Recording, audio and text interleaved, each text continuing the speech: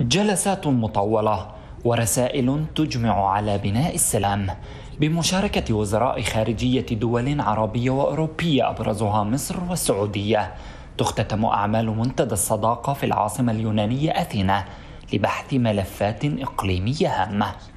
يسعى اللقاء إلى بلورة رؤية مشتركة بين الدول المجتمعة للتعامل مع قضايا عدة خصوصا في مجالي الأمن والطاقة على ما أعلن وزير الخارجية اليوناني.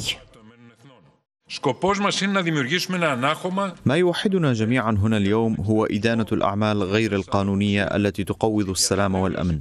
وهدفنا هو بناء حاجز ضد التهديدات والعنف والتطرف والتعصب وتشويه الدين.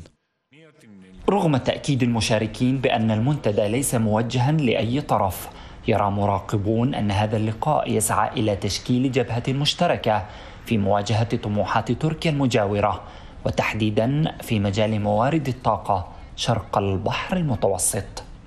أثار المنتدى حفيظة أنقرة التي تحدثت عن محاولة للتحالف على أساس العداء لتركيا وفق بيان لوزارة الخارجية قالت إن أي منتدى لا تتمثل فيه تركيا والقبارص الأتراك لا يمكنه إنشاء آلية لتعاون إقليمي ناجح.